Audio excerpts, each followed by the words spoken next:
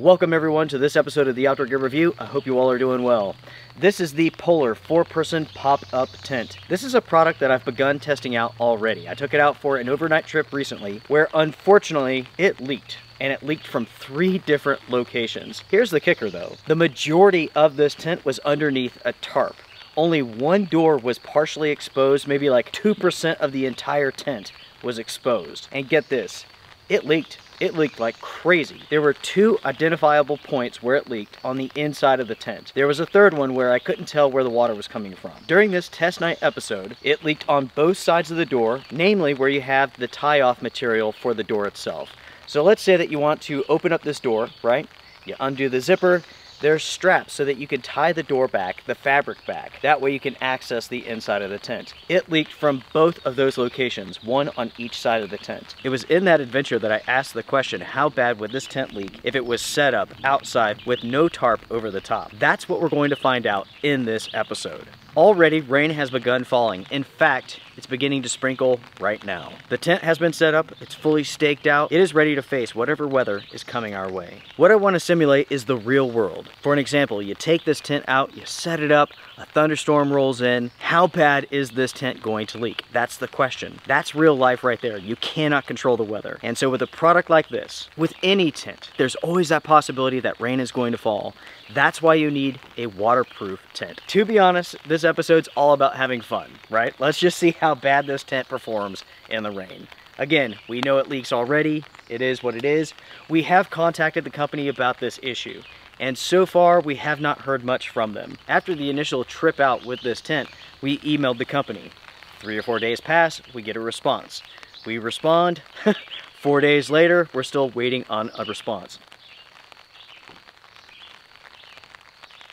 As it stands right now, I have no idea how this is going to wrap up as far as this company goes, but what I can tell you is this. Based upon my impressions of this tent so far, the fact that it leaks, I would not recommend purchasing this tent. Anyways, everyone, that's enough for now. Let's await the rain and let's see how this tent performs. Again, I will be out here at Lone Wolf Mountain for as long as it takes for this tent to go through a really good rain event. If you didn't see the adventure where I had this tent underneath a tarp, check the description box down below. You will find a link to that trip. As a refresher, this is the Poler four-person tent. This is an A-frame pop-up style tent, very similar to the Gazelle tent as far as like the way that it pops up the frame system, the frame mechanism is very similar. Now obviously this is a very different tent and I have to be honest, I'm disappointed that it leaks so badly. This is a true three season tent whereas the Gazelle, it's too hot to use in the summertime, it's not bug proof, it just doesn't make any sense. This tent here is double walled. You have the fly and on the inside you have a ton of mesh. I mean airflow on it, top notch. But unfortunately it's not waterproof. Folks, it is beginning to rain now, here it comes. Let's see how well this tent performs together.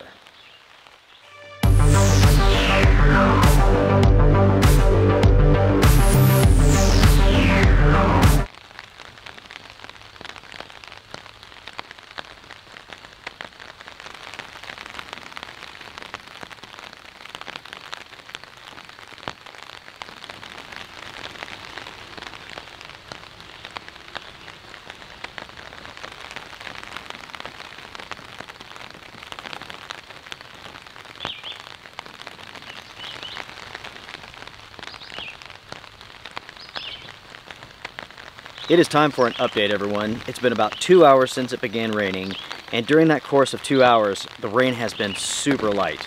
I mean, super, super light. The tent is wet, but the ground is dry, if you know what I mean. That's how light this rain has been.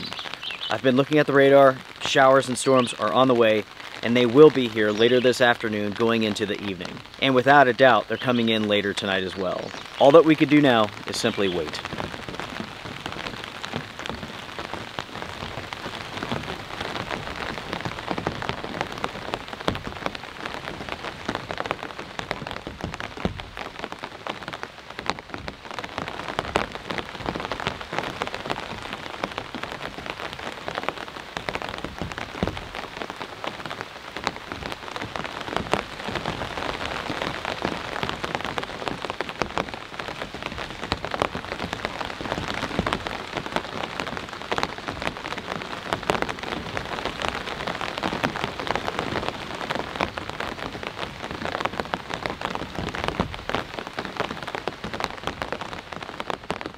The rain just slacked off a little bit, so I've crawled inside of the tent here to take a look, and already it's leaking.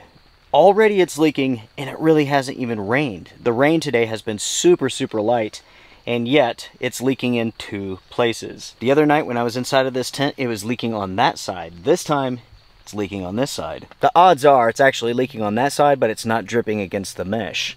It's running down the fly. But on this side, it's actually running down and dripping onto the mesh. That way we can see it.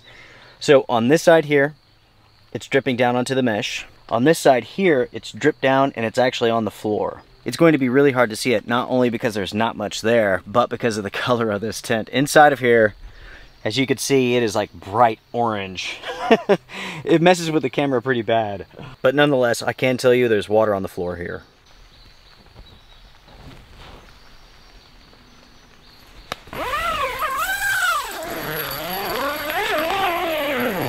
I know I shouldn't be surprised, but I am. I'm surprised that it's leaking already and the thing is, it really hasn't been raining hard. That goes to show that this tent has a serious flaw. The simple fact is, it cannot keep you dry. This tent is simply not waterproof.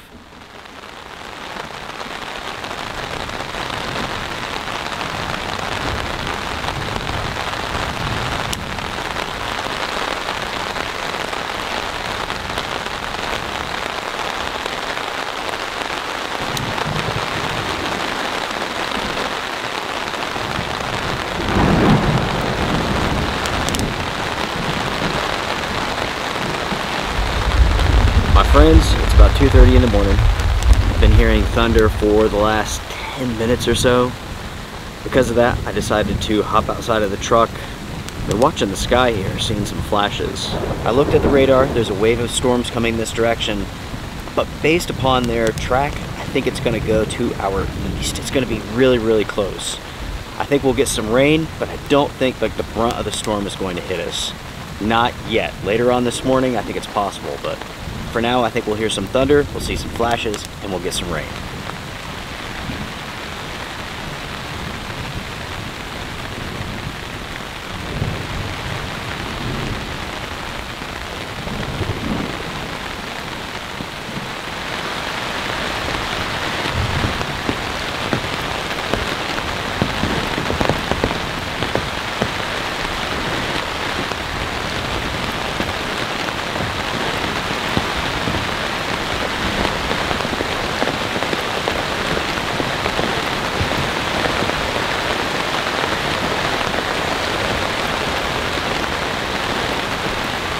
It is now 6 o'clock in the morning. It's raining heavily outside. And I, I, finally feel content with the rain test that I've done for this poler tent. We're finally there. It took all day, all night, all morning, but we've done it.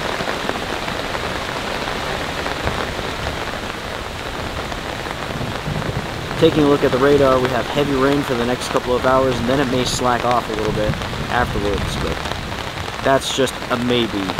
With systems like this, it's constantly changing, and just because there's nothing on the radar now doesn't mean there won't be in five minutes.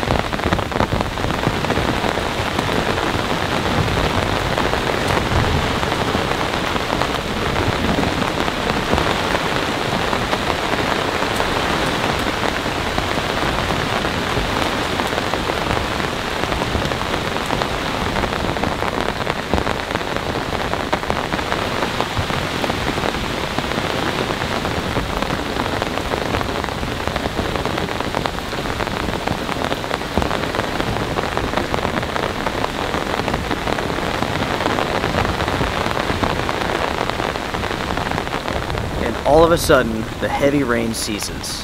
It's still raining out there, but it's not super heavy. And here in a minute, we'll check on that tent.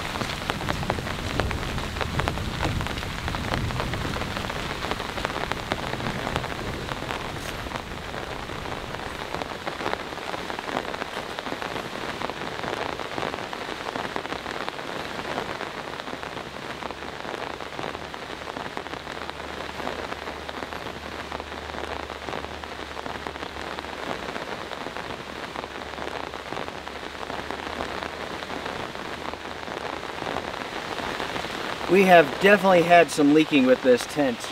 The inside material, the body, is wet on this side here.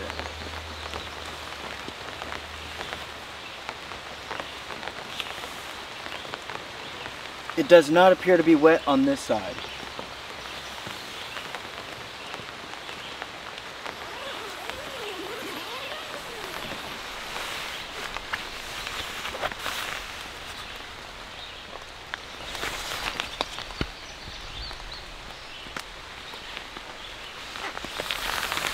What I'm noticing here is that the floor of the tent is wet.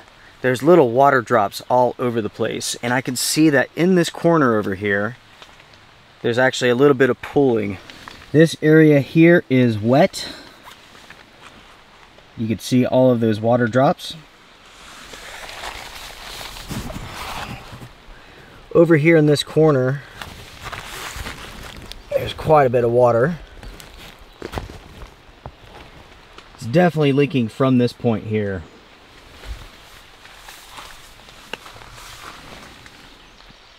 And it's leaking from this point here as well. Additionally, this side of the tent is soaked. And we have small water drops on the floor.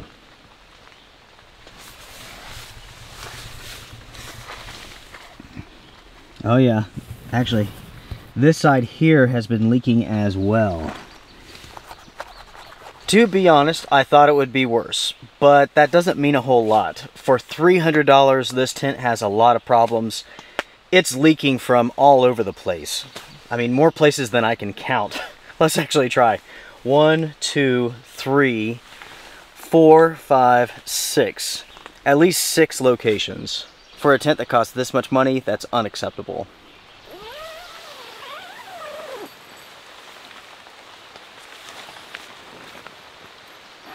For this test night episode with the Poler four-person pop-up tent, that's it. I'm done. This is a product that I simply do not recommend. There's definitely an issue with this tent that the company needs to rectify. We know for certain that it's leaking in each of the tie-off points for the doors, plus some other locations as well. In total, I counted six leaking points. For a tent that costs $300, this is unacceptable. And the truth is, for any tent, leaking is unacceptable because all that's doing is putting your life at risk. When you go out into the wilderness, even if you're car camping, you're trusting that shelter to protect you. And in this situation, the poler tent is not capable of protecting the user. If the company is able to solve the issues with this tent in the future, we will let you know. If you enjoyed this episode, hit the thumbs up. I do appreciate it. Everyone, I'm going home. I'm tired. Basically, I did not get any sleep last night. My focus was on this tent. When it comes to a product that I'm testing out, I wanna make sure that I show you all step by step that testing process. If a product's good, I say so and I show you how and I explain why. If there's a bad product, it fails, I show you why, I explain why. In this case, this tent is simply not waterproof. It leaks from all over the place and I'm done. Folks, I will see you all with the next one. Take care, be well, strength and honor.